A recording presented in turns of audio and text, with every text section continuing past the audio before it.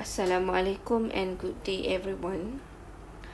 Today we will start a new topic which is 2.2 derivative and integral of vector functions.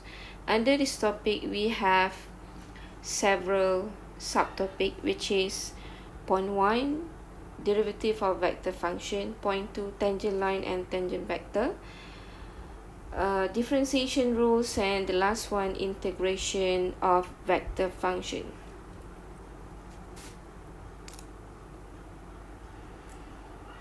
Okay so now we go to the objective of this topic.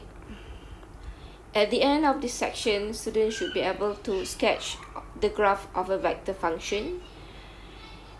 Second one find and sketch the position vector at a given point the third one, find and sketch the tangent vector at a given point. The second last one, differentiate a vector function. And the last one, integrate a vector function. Okay, before we start with the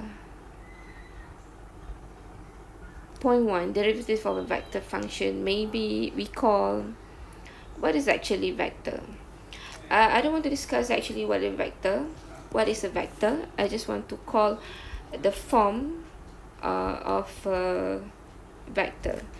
Okay let's say okay let's say we have r equals to 3i plus 2j all right. Okay when we refer to any reference book uh, textbook any printed version uh, normally the R, the I and the J is in bold. But then uh, if we uh, write by using hand, meaning in handwriting, normally to represent the R, we have to put some uh, additional notation which is arrow above the R and then the tilde beneath the symbol I and the J. Okay, and then um, this one I can say this is the the the one of the form of representation of a vector. This one we call as standard representation okay this is in 2d okay maybe we want to have 3d just put uh, we have 3i plus 2j plus 4k okay now the other form of presentation of vector is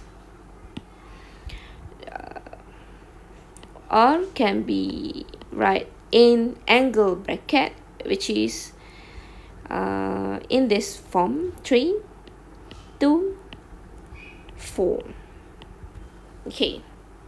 Where the name of this one is standard component form. All right. If you can see here uh, maybe in blue color this one these three these three this uh, is actually component of x direction. And this one is actually for the y. For the y direction. And this one for the z component for the, the z direction okay that's it. This is a two representation of a vector